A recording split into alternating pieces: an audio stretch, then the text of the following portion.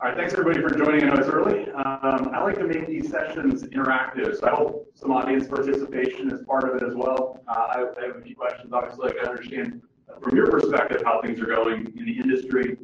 I talked to a lot of hospitals uh, over the last few years, and over 100 hospitals I've spoken with uh, around reporting analytics as part of how they run their HTM or, or clinical engineering organizations.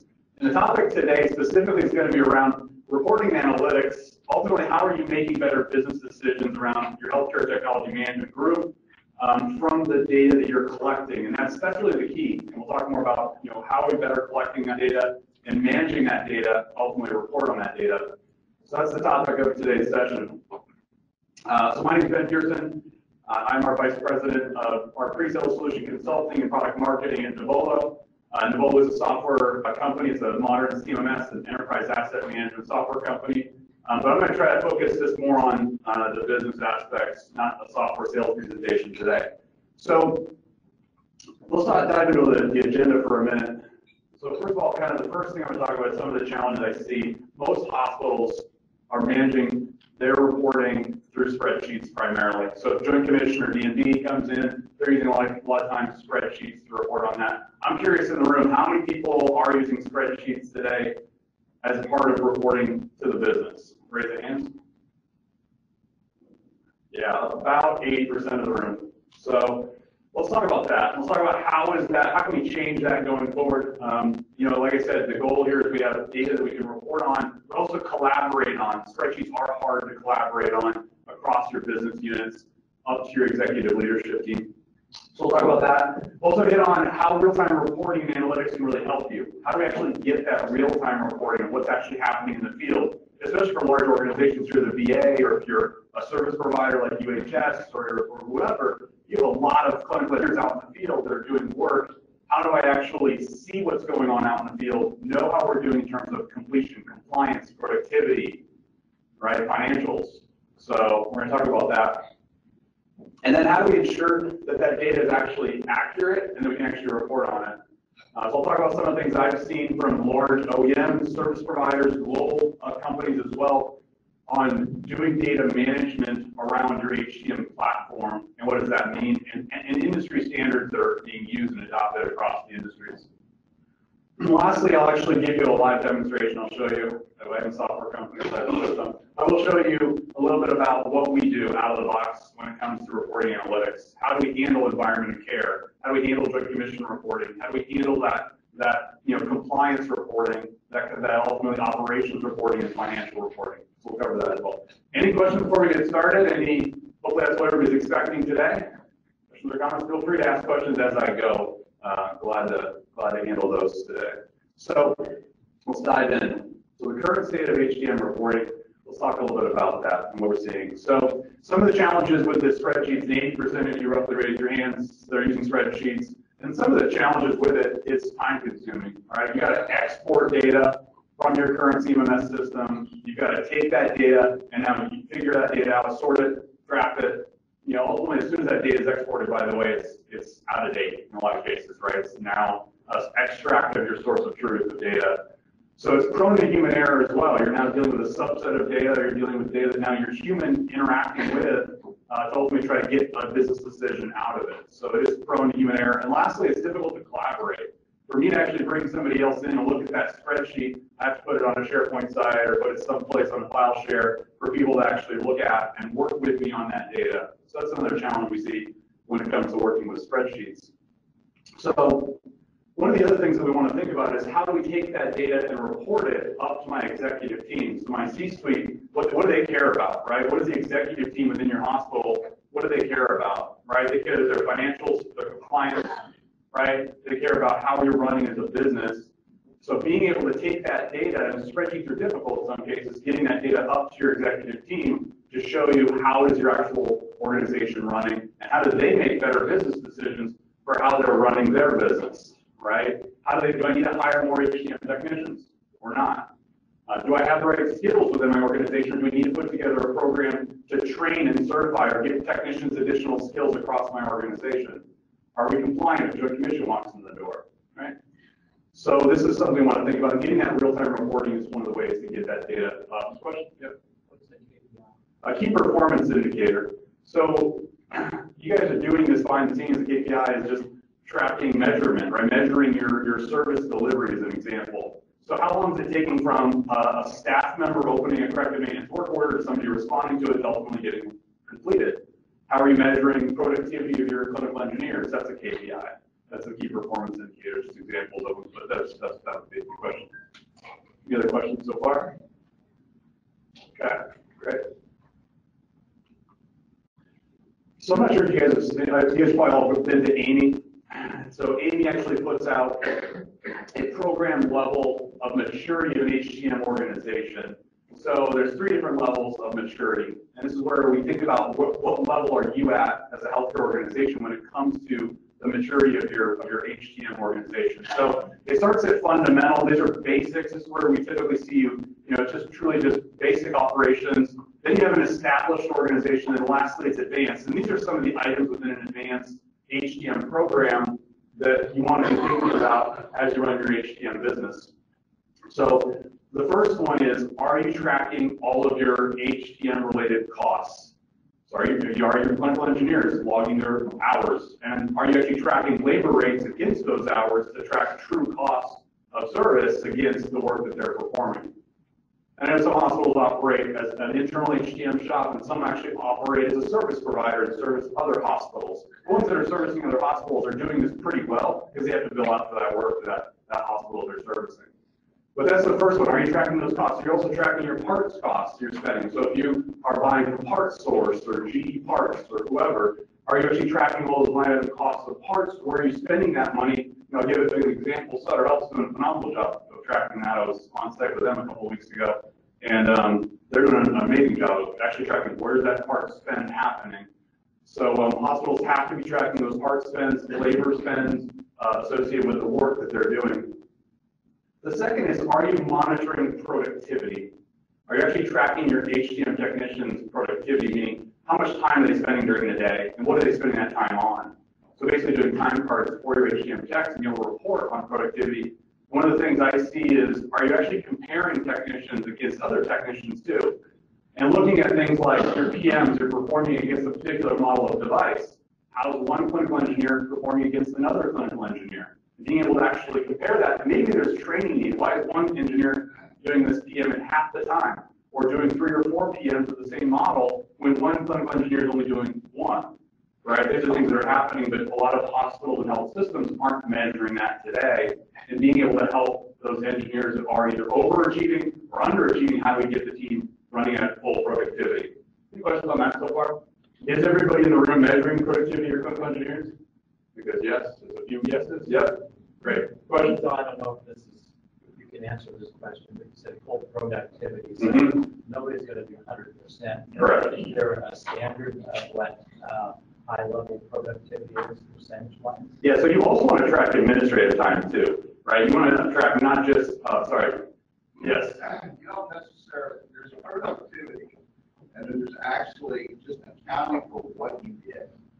And that's what Sutter's trying to do, we're just trying to get architects, you know, if, if you were talking with a customer, put it down as well. Mhm. If you were at a meeting about some kind of upcoming project, put it down as the administrative meeting. You know, I've heard this forever, that, you know, somebody can't be hundred percent productive. That's true. Mhm. But you can account for hundred percent That's right. of what your time is that you spend on, on the clock. Exactly right, Joe. Yeah, thanks for that. Right, actual wrench time, actually doing the work, and then all those administrative times that Joe mentioned. And again, field service guys, you know, how much, Travel time, how much time they spend in getting an oil change Mhm.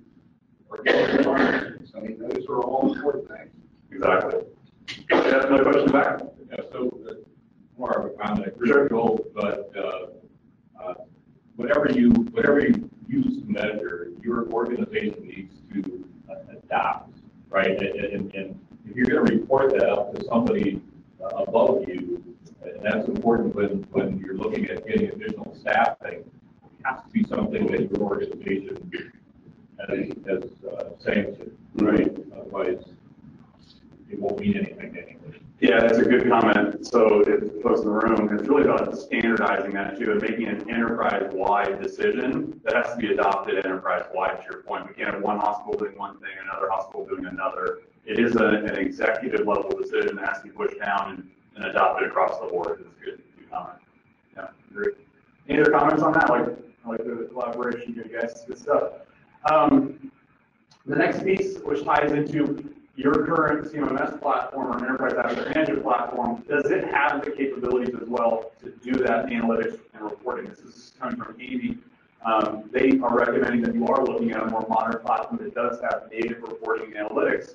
You know, the question I always ask is, do you have to call the vendor or call in a reporting developer to build a report to make a business decision? Hopefully the answer is no the answer is yes, then you should be looking at another more modern CMMS platform. Because modern platforms have that capability. You guys, clinical engineers, can build your own reports, run your own analytics against it. It's around integration capability. So if you're running, for example, an RTLS system, a real-time location services RFID system in your hospital, is that tied into your CMMS platform for asset location information? That's something that we do have. So that way now you know not only what devices do you have, but also where are they at in near real time as they're moving around your hospitals, your infusion pumps and your mobile, uh, you know, heart monitors, et cetera, that have tags on. So tying that in, but also tying it in with things like your financial system. We talked about tracking costs. Well, tracking costs is also part of tying in with your Lawson, your SAP, or your Oracle system. So now you not only know what did you pay for these medical devices in your hospital, but what's the true total cost of service against those medical devices? So you can start planning for things like capital, uh, capital forecasting and capital planning. Joe, I'll give you a shout out. You're actually going to do a presentation on Sunday uh, around capital forecasting and planning. These are the kind of things you can operationalize in a modern platform of being able to have so you can actually forecast the replacement of devices. Uh, you can also do things like purchase order requests or invoicing from your CMMS as well with that integration capability. So if you are servicing another hospital or you're a service provider, being able to automate that invoicing process through its entire life cycle. So that's another capability along with parts and parts ordering as well, do things like parts orders and other systems. Are you doing any asset reliability tracking? So are you tracking how reliable your medical devices are? How often are they failing or having faults?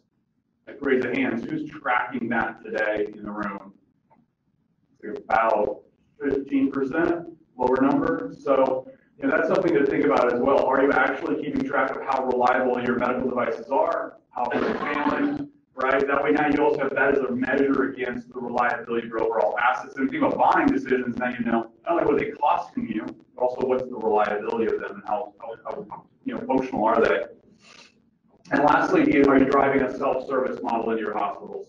Are you allowing staff members to report back to your clinical engineers for a problem through self-service? Or are you still in a bit of a legacy model where the staff member picks up the phone and calls a primary or secondary tech that's stickered on the device, which I still see quite often. So that's another model we're wanting to see. AAMI's wanting to see more clinical engineering move toward a self-service model where staff members can truly report their problems themselves uh, without having to re-pick up the phone and call someone. Okay. Any questions on this list? Again, this is straight from AAMI. Uh, just was curious if everybody's aware of these top items. Again, this is what gets you to that advanced maturity level when we think about the overall uh, HTM program level. Comments or questions? Okay. One of the things I want to talk about, just throwing an example picture up here, but this is a UDI barcode. Um, it's all about the data. It's really all about the data when it comes to reporting analytics. I can talk about reporting and all this, but reporting is only as good as the data you have within your system, right? So the key for, for me, and this is one of the challenges when I talk about customers looking at data standardization across your organization. The VA is an example, not to pick on the VA, but they have so many different systems and there's not a standard across the VA for things like asset types, models, manufacturers, et cetera. When you think about reporting, if I'm not standardizing across my enterprise, how do I actually report across the enterprise? So this is a really foundational item that hospitals and health systems have to think about is how do, what is our, what is our data standard? Just like we talked about the standardization around labor time, time entry, the same is true for data standardization. So I'll just talk about some of the items that I'm seeing hospitals adopt across the country and internationally.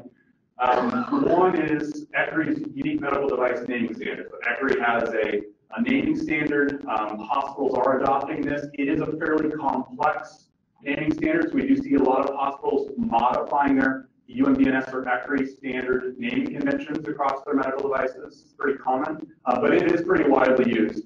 Uh, as you may or may not know, the FDA mandates any medical device sold in the United States has a unique device identifier. And that's what that barcode is on the right-hand side. So when you get a medical device shipped into your hospital, it has a unique device identifier attached to it, at least here in the United States, that you can actually scan uh, when you're doing your inventory and onboarding of that medical device that now can auto-classify it back to the UDI. We are seeing hospitals start to move toward that as a standard since it is required for any medical device sold in the United States. Um, uh, I am seeing internationally that uh, some companies and service providers, even OEMs, are looking at this and the GMDN, Global Medical Device Naming Standard, is tied to UDI. Uh, so GMDN is one standard that I'm starting to see being adopted from an international perspective. So I just wanted to share that. There's no one size that fits all here, you guys. So I'm not prescribing anything specific. I'm just sharing uh, options that are kind of I'm seeing in the, in the industry. Another one um, is BDNA's Technopedia. Uh, they were BDNA is a company that was acquired by Flexera. Um, they have a standard manufacturer model uh, repository database that they maintain. We are seeing some health systems adopting that as their standard. And then lastly, I'll just, I'll just mention it, is barcoding standards. Some hospitals aren't even barcode tagging their assets. Some are, more and more are. Uh, but we see internationally and here, go looking at GS1 as a barcoding standard. What it is, it's a unique barcode that is truly a global unique identifier barcode standard that you can issue those from GS1. So any feedback on here? Anybody want to talk about their experience with ECRI's uh, FD, uh, UMDNS naming standard, or I'm curious if anybody's using any of these standards today, or maybe wants to share in the room. Your hands up, hands back, yep. Yeah, appreciate it. You do? Great, great. It seems like that's more, more common. Jacob? We use ECRI and UDI to some extent. We're starting to use UDI. With ECRI, they have like categories and then subcategories. It's complex. What is the general, like, are most people just using the general categories Yes. or the detailed subcategories? 'Cause We struggle with using a mishmash of results based on what somebody chose when the device came in. Yeah, um, I'll let some other hospitals sh- share their feedback. I'll give you my two cents, but anybody else have a comment on that? Anybody using? Yeah, go ahead. We use ECRI subtype. And that's actually really helpful for basically taking segments within your asset portfolio and trying to better understand certain things that are going on there. Especially when we're starting to do some bigger planning and we need to work directly with sourcing managers to let them know what's in the system in regards to a particular subtype. That's an easy way to pull them. Like if I want a hemodialysis unit, I can pull a hemodialysis unit because of the ECRI subtype it does get a little convoluted at times and it's not gonna make perfect sense, but I actually came from, I was a surgical services product analyst. I'd much rather look at hemodialysis units than stents. Um, and when you think about GS one, there's something called unspec. Unspec is a product categorization that actually goes through, you can have up to eight levels of hierarchy. So from that perspective, ECRI's categories and subtypes are pretty basic. Great. Thanks for that, Justin. I appreciate that. Yeah, go ahead, Jim. The problem I have with the ECRI is, uh, I haven't really, to me, an aspirator, usually something that's used in the OR, or, you know, an aspiration tube or something like that. So I'm trying to find a breast pump. Um, I'm not thinking breast aspirator. Mm-hmm. And they have used, I would say it's been designed by clinical engineers thinking on this clinical engineering level.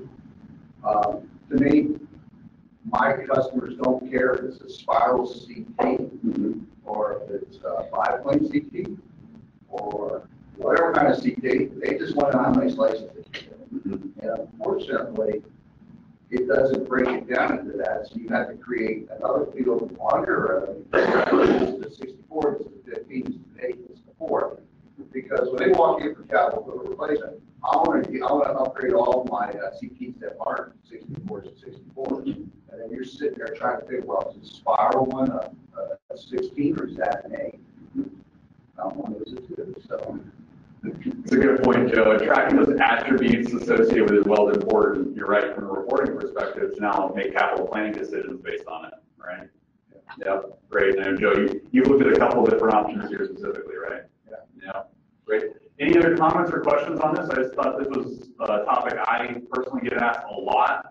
Uh, you know, really around that data standardization. Any customers are asking us, how do, how do, how does Nuvolo help customers with that?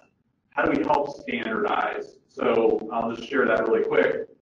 We out of the box already have the FDA's UDIs in our platform. So you can actually standardize against those if you'd like to as a choice. We also have an integration with ECRI's, UMDNS. You can classify against that as an option as well. And it's an open API platform, so you can integrate with the other two as well from a barcoding standard and, and BDNA Technopedia standard. Another question? I think the point is, Yeah, you gotta use something. You do. If, if you're not doing this, that's a bad thing. exactly. You've got to use something, uh, Yeah. for, for device applications. But I, I've looked at, uh, databases, I take it over from other organizations, OEM, uh, biomedical organizations, and uh, they've allowed their technicians to be entering data in without total advantage, with total advantage. So, Yeah, you're spot on, Andrew, is the other piece of it, right? So you can't just let it be an open, free reign, allowing technicians to create their own manufacturers models, and next thing you know, you have five different items of the exact same thing, right? So, All this stuff, which you can actually drill down real fast and get to it, so that you're not missing something because of this label. That's exactly right. I've got a laser in my system right now, it's labeled eight different ways. And I know it's the same laser because it's the same serial number, so I'm almost been into six different facilities, and labeled it eight different ways. Yeah, and every time you re-rented it, it came in with a different name, if I remember that story right, Joe. Yeah, good, good example. Other question, comment? I just have a question. Sure. on PCI UMDNS. Uh-huh. Doesn't that list encompass all medical devices, not just medical equipment? It does, that's correct. So how do you filter out all the implantable devices and, and different things that we're not necessarily concerned with or that track?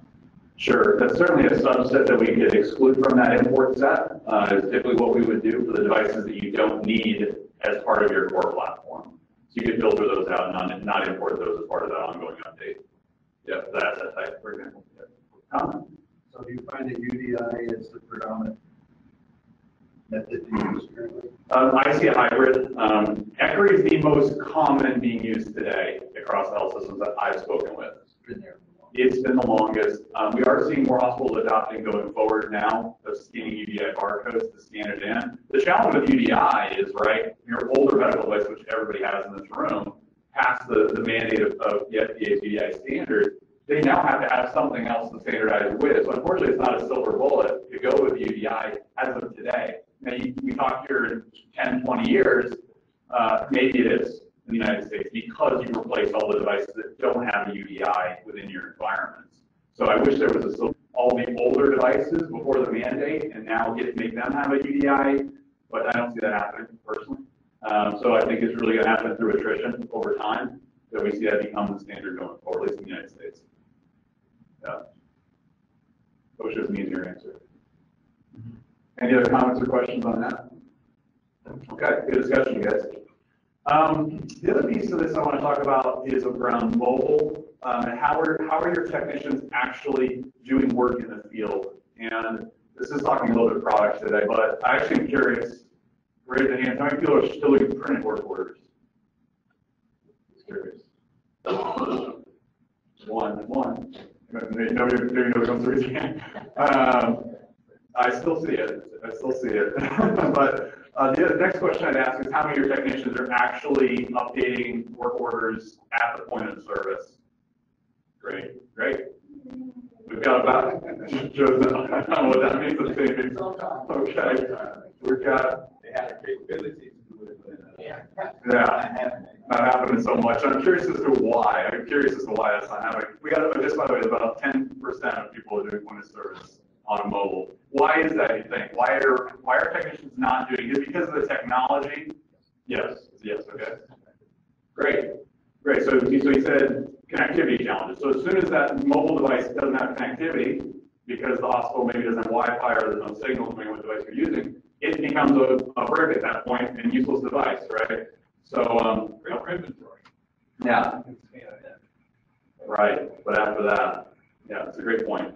Point. We have seen that in the industry, that that is a challenge. Um, and I'll, I'll talk about that. I'm, I'm gonna do a brief demonstration. Our mobile platform is online and offline. So it really synchronizes your work locally. So if you lose connectivity, you can still do your PM, you can create assets in this, you know, just update asset inventory, order parts, all that can be done even offline. So that's one of the key things that we chose to do to address that issue um, of connectivity challenges within hospitals. So, great. So let's dive in. I just want to, how are we doing a time check? I'm just curious. We good? We got thirty minutes left? All right, we got plenty of time. All right, great. Any questions before I kind of jump in? I actually do want to show you some of this. I don't want to talk about all this. I was like, should we demonstrate some of this with you all? But any last topics or any other challenges you guys are faced with when it comes to reporting and analytics besides the things I've already covered? Just to open this up a little bit for the team here in the room.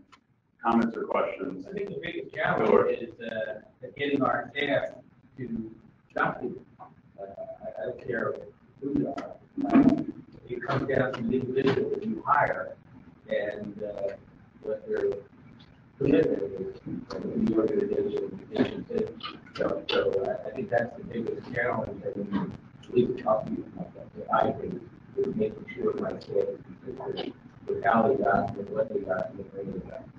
And how are you, is there a process that you're training your technicians on to mandate certain processes? Are you adjusting your CMMS to mandate certain things are filled in before they close a work order? What, how are you addressing that? We do, we, we do have certain things that they can't go to work order until they enter data into this block or that block, Mhm. uh, things like that, but, uh, it, it's just the individual, who's up to you. Sure. And, uh, uh,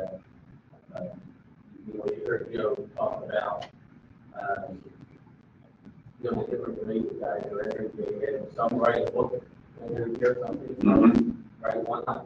Yeah, And, uh, you know, this is all, you know, from my perspective, so I run a large operation, this is all I have.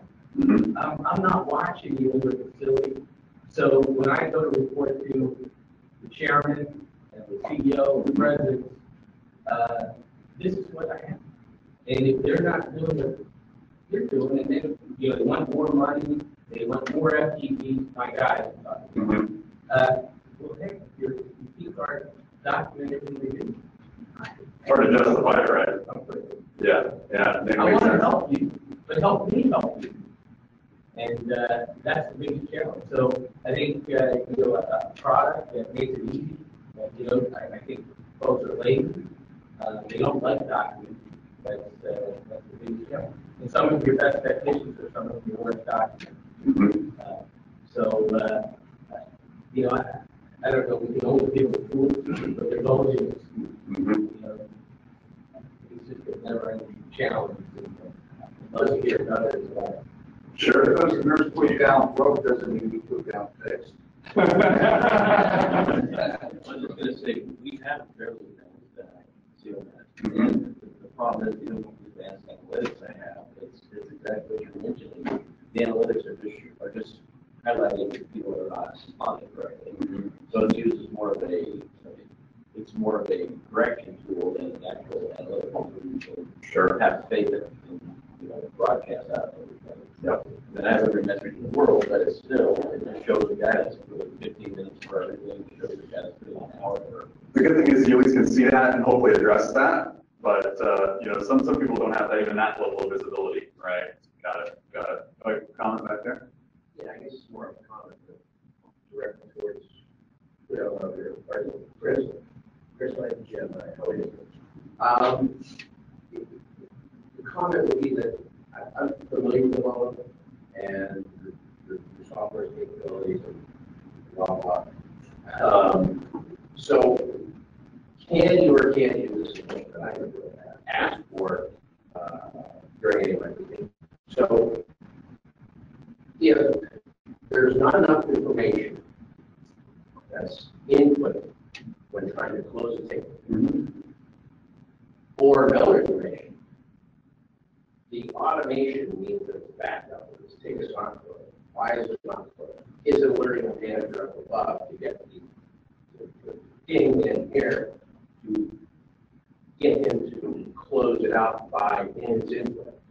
I mean, Yes. he can't take any more work orders as a result, and it means less productivity, we start more flags. Right. And you start tracking people's ability to do their work functionally or more functionally. Is that something that gets done in the book? Yes, it is. So uh, we mandate certain fields are filled in prior to closing a work order. You can't close a work order without those fields being populated. Uh, We even require a certain amount of text is added, for example, of what they actually did. So if it's, they've said fix, uh, they can't close the work order. Right, right. So we can mandate a certain string length of text. Uh, So yes, that, yes, I can show that. You can, actually probably send it, like, the, the, one without not getting more, getting more money, you can probably send where you close ticket, have something along the lines between the funding.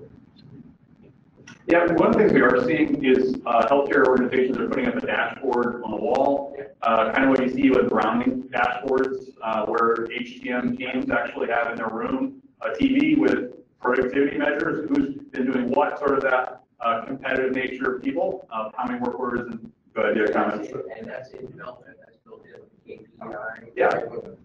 Uh, Dashboard. Exactly. Yeah. Yeah, they can just put our dashboard up on the TV and show it, and that's one thing we are seeing is to. Sorry, no, I don't. So appreciate it. Yeah, yeah. You know, are are we ever gonna get to a world that says every device, whether it's a pump or a cath lab, the clinician marks it out of service, this is broken. And it won't go back to service until that dispatch is closed, because they have to do those functional checks, to put it back in, work on human.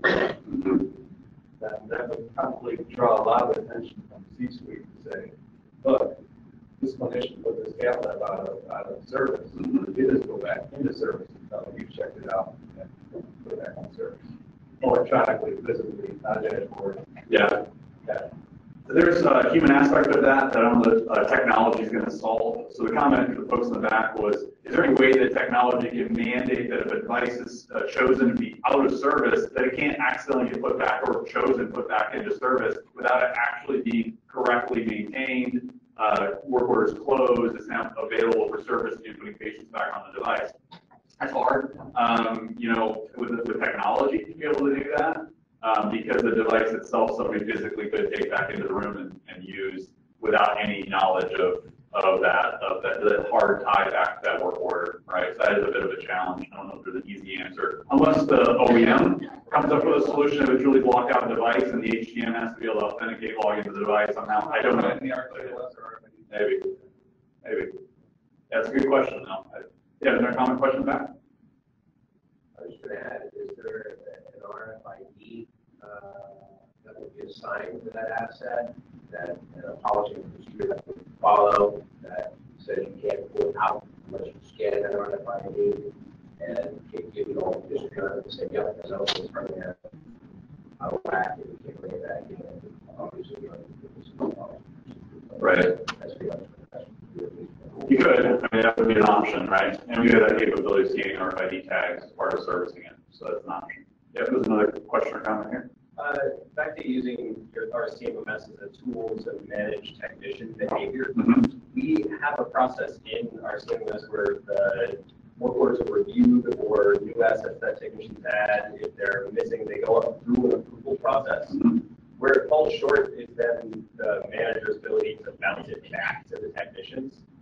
And it's an interesting function that sort of we have and is not fully fleshed out, but being able to kick those work orders back for re-review and sort of building up the technician's queue is a less feedback loop for adding more detail or finding work orders that are deficient or which fields you can include. Sure. Are you doing that on all work orders? Is a subset of work orders that go through a manager review? Because I do see that in a lot of hospitals. Asset adds. Okay. Any work order that's been in review, which is sort of a manager's prerogative. So automatically they don't get reviewed because we don't have the bandwidth to manage a review of every work order. Sure. But we can take a spot check and, you know, grab five for each technician. Yeah. And audit that way. Right. Yeah, and, and so the answer is, so is it assigning it up to the manager, then you want to see it assigned back the deck? Which ones to review, uh, and then we can show that they've been reviewed and found a problem, but we can't kick it back to the technician. It's sort of, it's in, but. Uh, so yeah, we mentioned, Behavioral. we can do that, and maybe we talk through some use cases there we get time today? Otherwise, we can catch up afterwards, I can show you how that might work. Um, I have a lot of comments in the room, yeah, go ahead. Jim. Um, what I was gonna say is, we're talking about RFI, Mhm. okay? Real-time reporting, I know that, uh, the law is, and and even without the a lot of people looking at, um, there's two products out there, I know of the, probably here's the cost, uh, those are two of them. Uh, you know, they're also able to take a look and see what's on your network, network devices. And where this really comes in, that you need to know, and, and, and as you're talking about stuff here, my guys, my managers, and some of them here in the room, have time to sit there and review technicians, uh, reports, their FSRs or PMs. What we're trying to incorporate into our system, uh, and we have at a certain point, is variances. You set up the parameters so when something falls outside of those parameters, you're notified of that. If something falls within certain parameters, it's a go, it goes right on through. Because you're, you need to start managing by, uh, variation or thing of variances, rather than, you know, uh, to me, the expectation has always been to get hundred percent of your PMs. So to run a report to show that I'm at hundred percent, or what I've got done, that's not important to me. What's important to me is what hasn't been done. And so, what I was talking about as far as like the Zingbox and post, cybersecurity is getting really big. You want to know when a device disappears, it's got PHI on it, where did it go? And that's some more real-time reporting that you want, I want to know about, is when something, you know, disappears off my network, where did it go? Is it down in the shop, and somebody's got it turned off, and torn apart so they can't speak? Or is it, uh, disappeared out of my hospital, and it's got five hundred files on it?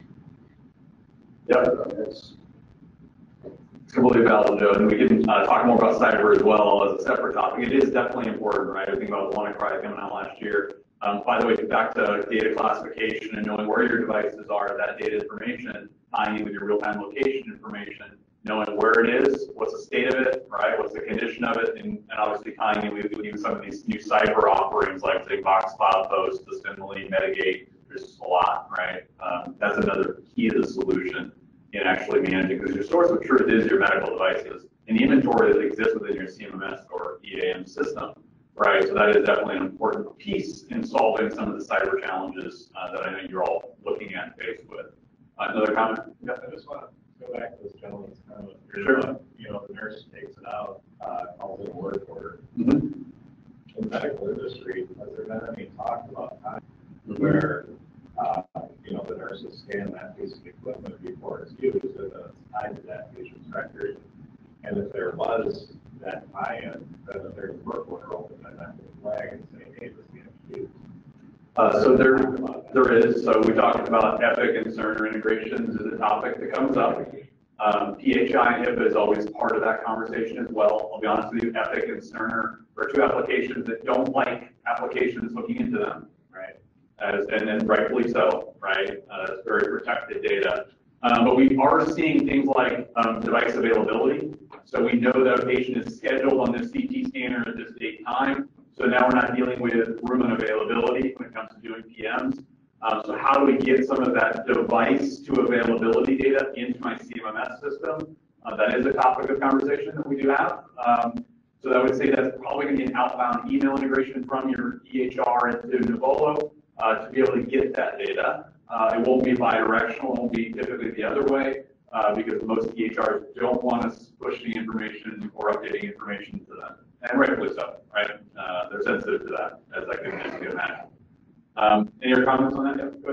Most media marks today, you do have a patient device association. Yes. Going on uh, Exactly. Yeah, so there's a lot of sensitivity around that topic, um, but we are, the, the email integration option is probably the most logical for us, coming from your EHR to us with just device and, util- and scheduling information. is the main use case I've seen today. Yeah, good question. Any other topics? All right, how we doing this time? Got a half hour left, lots of time, good.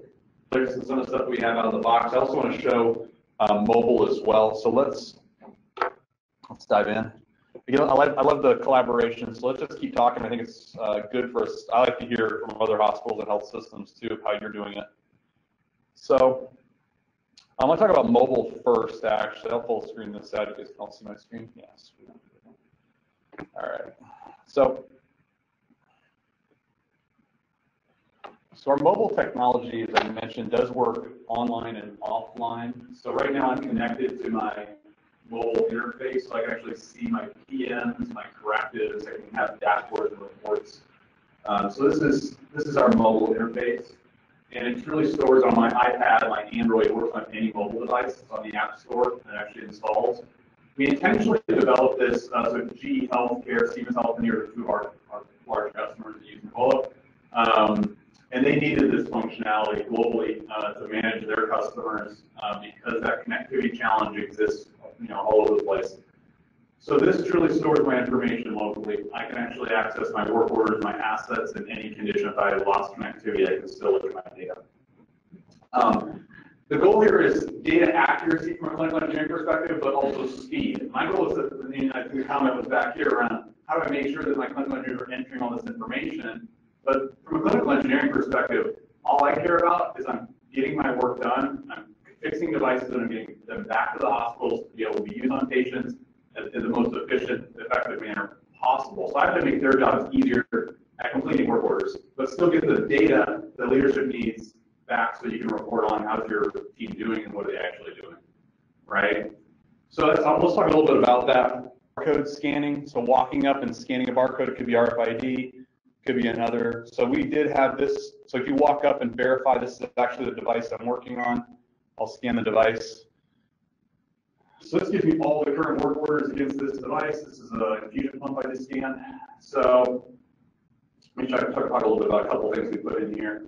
So I just scanned a barcode of the device. This verifies that I'm actually the technician working on that device and that specific device. I didn't grab the wrong work order for the wrong device. So you have that data validation but also speed to get this thing done, right? So from an engineer, sorry, from a technician perspective, it's easy, it's quick, it's fast, and validates it that I'm actually working on the right device, right? Um, are you guys do? How many people are using barcode tags on their medical devices? Like almost everybody. And are you having your technicians do a scan of that device when you actually work on that device? Looks like about very small fraction of the groups, about three people. Um, so something to think about. The technology exists. You guys can do that. It does give, like I said, if you're doing rounds or you're doing inspections, we start seeing that a lot more of that. Uh, being able to quickly walk up, scan, do your check, get a checklist against your inspection checklist, go on to the next, scan the next. So we are starting to see that type of model being implemented. A couple of things we added just to talk through is in the upper left here, you'll see a start button. It's a blue blue circle. Um, the goal here is that I made it easy for that technician to start their labor tracking of actual wrench time on the work order. I don't want them to have to remember I spent an hour and 20 minutes or 15 minutes working on this device. This is tracking true wrench time as it's running. It's actually automatically creating a labor entry on this work order for that technician so that when they close this work order, auto stores the labor they spent working on this work order. That's another capability. You can still manually enter labor entries or adjust them, but this gives you a speed of labor entry for your clinical engineers. So if somebody comes in, interrupts you, and you walk away, and still running in the back. You can edit, yeah. Yeah, you can pause it, too. I can pause it while I'm going. I can, uh, adjust, now if I restart, it's gonna create another labor entry, so I can start, stop as I go throughout my day. So if I had to, you know, step away for lunch, you come back and work on it after lunch, I can do that. And it adds those two line items for labor now for that technician. Multiple technicians can work on the same work order in here and add their own labor entries using the same capabilities. You can collaborate. If you need to have multiple techs working in a single work order, you can do that. There questions on that so far? Questions back? A couple questions. Yep. Uh, question, so as you, as the technician is going to provide service to these equipment, Mhm. there's some prep time.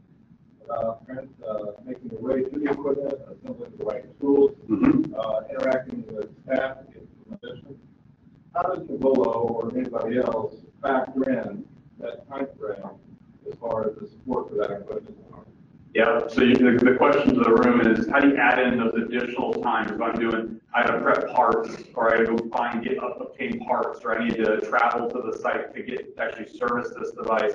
That really goes back to that productivity reporting conversation we had earlier. You, ultimately, you're gonna be creating line items for those additional administrative items as part of performing this work order. So if I have travel time, if I have part prep time, if I have, uh, maybe I have to locate the manual for this device, whatever it is, you're wanting to keep, keep track of those. That's, those are additional entries you're gonna create over here on our time entry sheet, where you're actually gonna be putting a time card entry on this work order against those additional administrative items.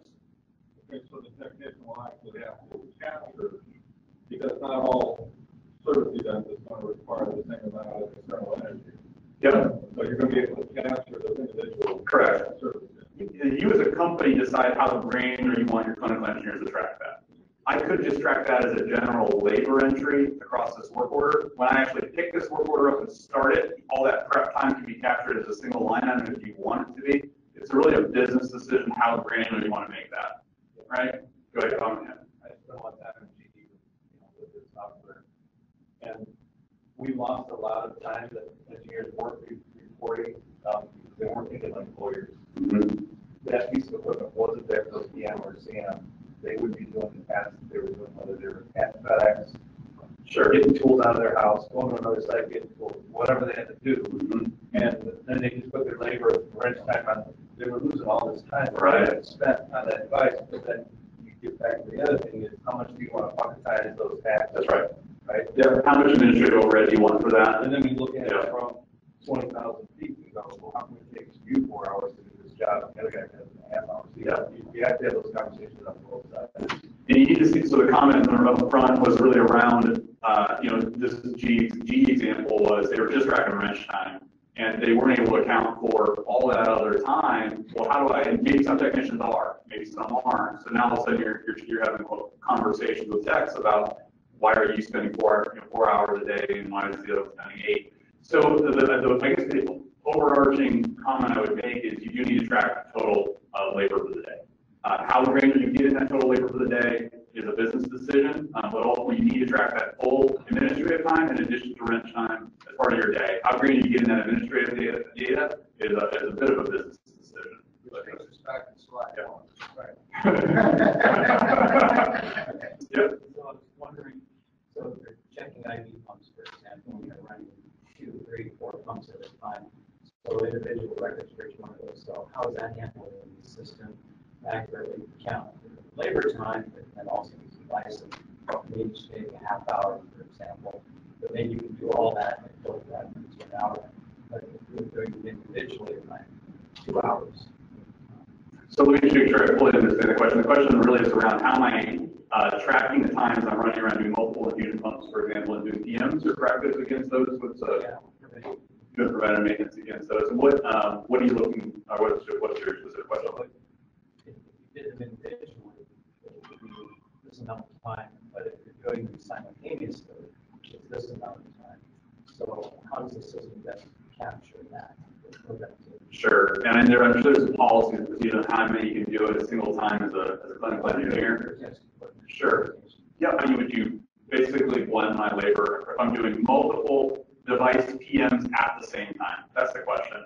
You're gonna, we're gonna have to manually blend that time across those work orders, is what you're gonna have to do. Basically, you say you're gonna do four hours, yep, but, So. And, and really, that's what all this is about. Nuvolo is a cool tool. Um, it is a very awesome CMMS. But at the end of the day, what it really is, is it gives us opportunity to create governance. It gives us opportunity to better track. It gives us opportunity to get certain things in real time. But we also need to ensure that we have the appropriate business processes in place that our engineers can rely upon to actually do the right thing. And whether or not that means turning on and off certain fields in your CMMS to make things run a little bit easier, or having the appropriate conversation beforehand. When you're working four pumps at once, and you're able to do all four of those beyond in 30 minutes, you put 30 minutes on each one. So it looks like you did two hours of work in 30 minutes.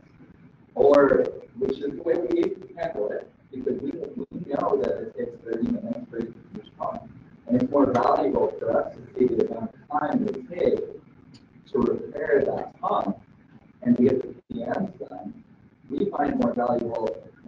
than that than seeing every single hour of our engineers' time. So when it comes to pump season, we've got engineers that have two hundred percent utilization. That's a business decision that we make. And if that's what I think everybody really needs to think about, this is a tool. We are people. We need to create our own governance outside of the tool and ensure the tool facilitates our success. Certain things, like being able to figure that out, figuring out what your criteria is for appropriate taking. System companies call that for business decision to make around that. And to your point, you're wanting to track, like you said, productivity around, you want to actually measure what it really takes pump by pump. And so that's a good comment. I actually like that. Any other comments or feedback? I think other hospitals and health supplies think of things the same way. Yep. I just want to tell on what Dustin was saying, we had the same issue. and It it all goes back to. Seven, eight, nine. At the time, and we made the opposite business decision you did initially, because at first it was about compliance of the technician. Sure. But as time went on, our model changed, and once the technicians became more compliant, we said, okay, now it's more important for us to understand much time we're actually spending on the compliance. So don't be afraid to change that governance decision as time goes on and your emphasis or your focus is on something different. And that's, and, you know, all we see in masses are great tools, but it does come down to government, governance, and what's important to you, don't be afraid to change.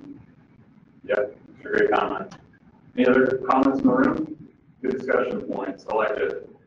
Okay, all right. Skip on, uh, you think we got time to get? We got fifteen minutes. Okay, all right. Well, I'll jump to reports then. Let's do it. This is what everybody came here for.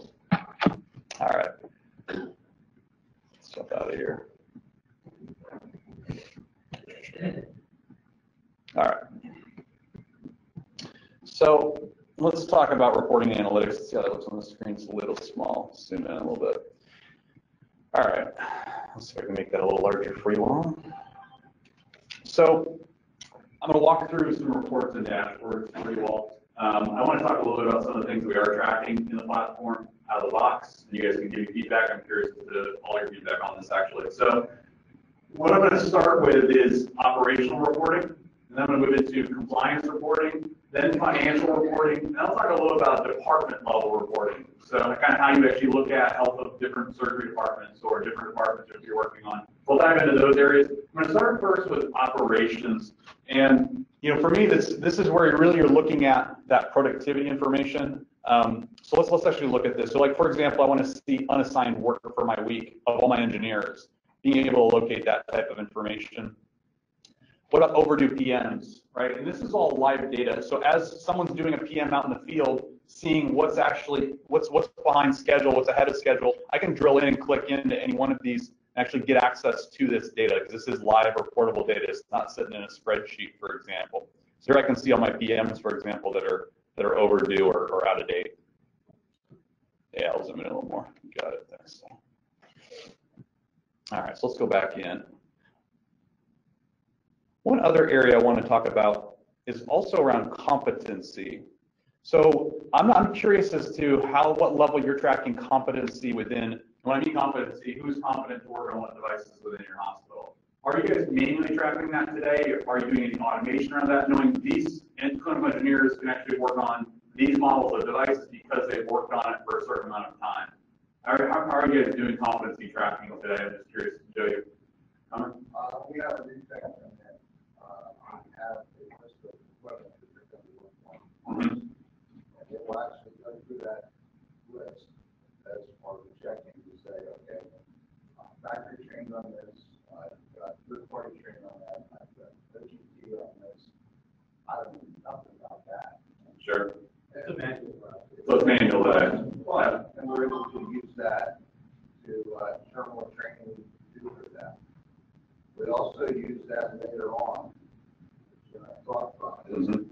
uh, when we have a piece of equipment coming off of warranty or coming off of, uh, uh, service contract, we are able to, we have a report we run, I'm able to sort of see, uh, who I've got that's trained on that, what level of training so I Yep. can make a decision whether I wanna put on a contract, or do I want to take off the contract?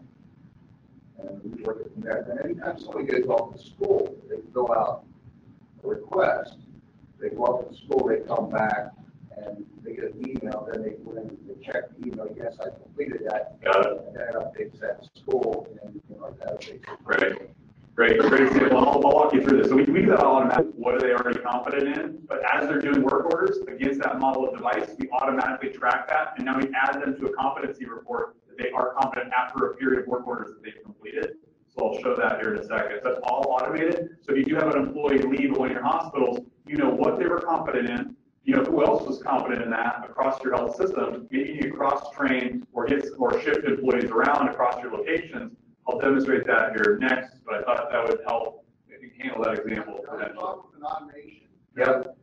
Is, and then this is where it is, they're taking care of the, uh, the equipment. Mhm.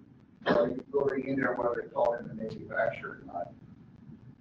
Oh, good point. So the comment that Joe's making is, how confident are they really? And do you have enough data to decide if they really are confident? They may close that work order for that particular model of device, but they didn't actually do the work. They actually called an OEM. Uh, we can handle that, Joe, because we do track if it was subbed out or use a third party to complete the service.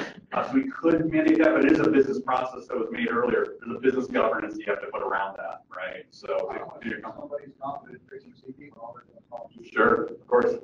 That's right. Yeah, Absolutely valid. Comment, Jim? Is anybody using an LMS to actually keep track of your certifications or OEM training? You are? Is it working well? Okay.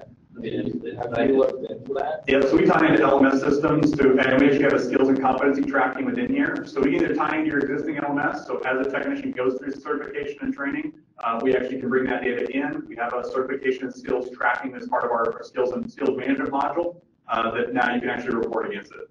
So, Yeah, yeah, it's. Oh, okay. Yeah. Yeah, you can do it in our you know, CMMS, or if you have this external one, you can do it either way. You do it both ways. Yep. The other reason why we track people's training and stuff is for TOW environmental work, usually because we have a goal that we want to send everybody off with at least two training episodes or or situations, even this counts as a training, so Yep. you know, the people that are here from start today, we had, with your application, we go out, we want to come to this course, or this symposium, and, uh, that gets logged in there, Mhm. so that we can go back and use that for other reasons besides just, you know, training one, um, that already able to do. Great. Awesome. I'll, I'll show, uh, I think I'll show a little bit more here while we're in here, just to give you guys a quick look at this. So I'll give you an example. So let's say a technician, I want to, I can actually see what their competence, so this is a report that shows all my modalities of devices by technician. So if I want to pick, for example, can pick myself, I guess. Let's see what I've got in here. Here I am. So you can actually select the tech in the upper chart and this auto adjusts. Let's say I don't have any certifications. Me stick with somebody else. Live demos, I love, right? So here we go. I picked this technician. Here I can see now quickly. Here we go. Every model that I've worked on and how many work orders I've worked against the models of devices. So it gives you a quick look. I can take my tech and see immediately all the models that they've actually worked on. And I can drill in, by the way, and see the work orders behind this too. So to see if they actually subbed it out to GE or didn't actually do the work, you could audit, you could audit that too. What about skills? This is about skills and certification tracking. This is tech by tech. Now I can see tech by tech. What skills do they have? Like, have they done CT repair or have they done, you know, imaging or infusion pump? Now you can actually do that skills tracking back to an LMS certifications, for example. Um, what else do I have? And I can sort this, split and sort this by user, by site. Maybe I want to see this by site. So here I can see potentially each of my hospitals, each of my locations, and what skills do I have at each of my hospitals and locations. So I can actually compare that as well. Uh, certifications are the same thing. Let me show one other report here while I'm in competency. So this is really getting drilling now into the details of competency across your organization. This is just one example of, uh, like I said, these there's a few different sample examples for competency tracking. So let me go into, this one now gives you true work order level details by model. And I can print this off. I think if you have to actually print and track, you can do that as well. So I actually I drill into myself I can see all the models, and now I can drill into this model. Here's a work order that was performed against this particular device. I have that level of, of tracking as well. So we have that level of detail. Okay. Um, Just going to show a few more last reports. I think we're almost at time. Everybody, I appreciate all the comments and questions. Hopefully this is uh, valuable to you all. I like the collaboration in the group here. So a few other things I'll hit on.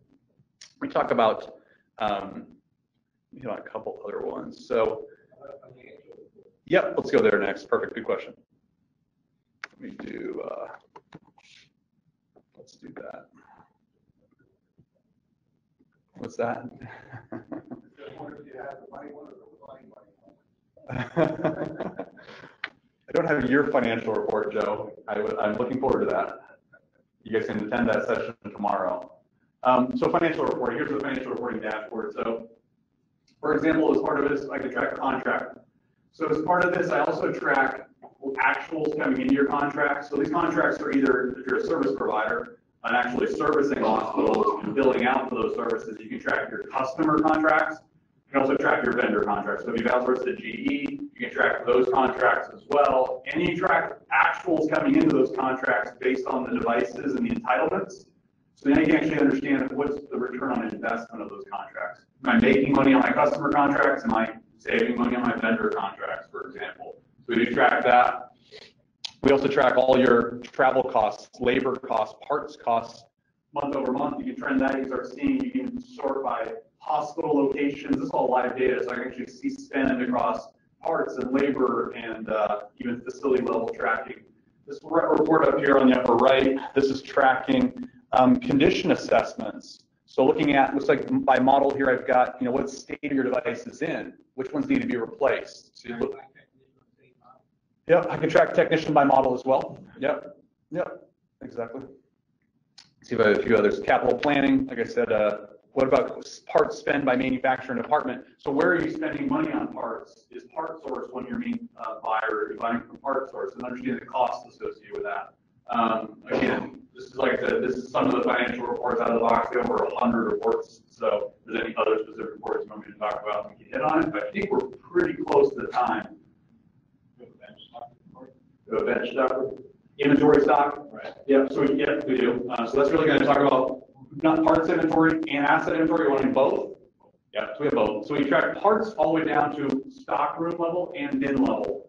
Uh, so we also do the transfer orders and purchase orders of parts as well. So you can set up replenishment thresholds and auto trigger purchases or transfer of parts. Uh, the hospital down in Texas that's using us just for that, just for their warehouse management. Uh, so that way when uh, so they run like kind of a hub and spoke parts management model. They have one central warehouse and they have all their uh, regional hospitals that they have uh, stock rooms in. So what we have set up is automation around that. As those regional stock rooms replenish and their parts are being used on work orders, um, it auto replenishes those parts inventories and then triggers once a, uh, threshold is hit for replenishment amount to trigger a transfer from that main central warehouse. We also set up automation around the central warehouse to auto trigger purchase orders to replenish the central warehouse from a, uh, an ERP system like Lawson, SAP, and Oracle. I hope I answered that question. Yep. Another comment? What about uh, customized reports and what limitations do you have? Sure. Yeah, that's a good question. So, so reporting is self-service. So if I want to customize a report, let's just maybe just do one live. If you want to see one, let's do it. Um, this is one of the value propositions of the platform. So let's say I want to report, maybe I want to, let's, let's edit this report. So I'll actually go into the self-service reporting Uh, of the platform itself. So here I'm in my report editor, which by the way, you guys can all do yourselves. You don't have to call a vendor or a or someone else. So let's say I, I like this report, but I want to adjust it. And I don't want it trended by month. I want to trend it by, I want to trend it by quarter. And maybe I want, instead of a bar chart, maybe I want it to be a pie chart. Uh, let's do that. I don't know. I'm just thinking, thinking out loud, you guys. So let's run one here real quick. See what that looks like. So Truly does have full self-service reporting. I can modify reports based on any data in the platform. So you look at your work order data, your parts data, your asset data, and you're going to run reports against it. And there's 20 different report types, including multi-level pivot charts. So Truly gets you out of spreadsheets. That's the that's the objective there with the reporting module. So hopefully that gives you a quick look. If there's anything you want afterwards, I can give you a deeper dive in that. Can you put data, like, Yeah, pull sure. additional fields into it? Yeah. I got it. So if I want to do like a list report, for example, so let's just do that. Do, do, do, do. Cool. Let's see. What's I've got here? Let's do bar chart. So data, so if we look at the data elements that we're bringing in, let's go into that. So right now, um, my source is what table am I pulling from? So in this case, I'm looking at itemized costs. I'm doing cost reporting in this one. Um, but I could be looking at, I could really looking at work orders. Let me just drill into a few other reports for you. So I can literally pick what table I'm pulling that data from. So I could be doing work order data, so clinical work orders or different, you know, task reports, asset reports. So you pick your table, you pick your chart, and then you decide what fields you want to pull from those tables. Or can we create a join a union on the fly? Yep, and they already have that, so you can actually, it's a relational database, you can actually relate tables across as well. Most of our tables are already related, so meaning you can actually walk from one table into another. So for example, I can walk from a work order table into an asset table and pull fields from asset, for example, off of the work order. So almost all of our tables are joined already, um, meaning you can connect to them in either direction, asset to work order, work order to asset, work order to parts, et cetera. The you know. I don't know the answer to that. I don't know. I gotta find out for you on that. Uh, any other questions? Okay, all right. Uh, feel free to give me feedback. I'm always open for positive, and negative feedback. Uh, so feel free. Let's, uh, like I said, we have a booth, uh, out on the floor. Feel free to stop by. We can deep dive any these other areas you want to talk more about. Uh, but I appreciate everybody's time today and thank you. Hopefully a good session for you all to kick off your day. Thank you.